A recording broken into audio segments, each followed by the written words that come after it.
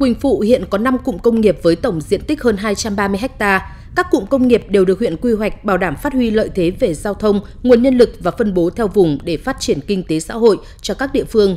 Cùng với làm tốt công tác quy hoạch, tổ chức giải phóng mặt bằng tạo quỹ đất sạch cho nhà đầu tư triển khai dự án, huyện cũng bố trí nguồn ngân sách đầu tư hạ tầng. Đến nay, huyện đã thu hút được 52 dự án đầu tư vào các cụm công nghiệp với tổng vốn đăng ký đầu tư gần 3.500 tỷ đồng. Số vốn đã thực hiện đầu tư gần 2.700 tỷ đồng.